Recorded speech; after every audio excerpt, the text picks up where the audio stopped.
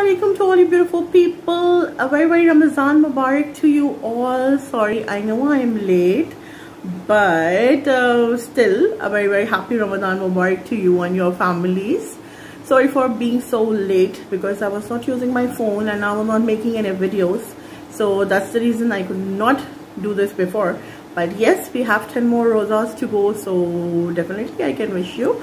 And uh, I hope you are having a beautiful um, Ramzan and um, yes we have 10 more rozas to go. The important uh, nights we have for ibadat. So let's pray to Allah and let's all to get together and pray to Allah for betterment of Pakistan betterment of the whole world.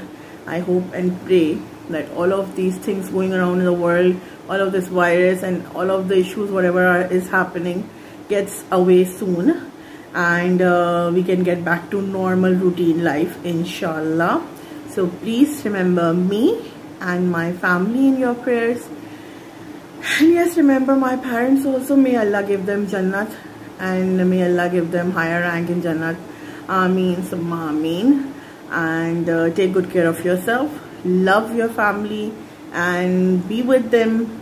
Enjoy your ramadan and let's keep this Eid simple and be happy and all together. And yes still you have to be very safe and take care of yourself. Whatever happens whatever uh, is going outside you have to still be safe and take good care of yourselves love you all. Bye bye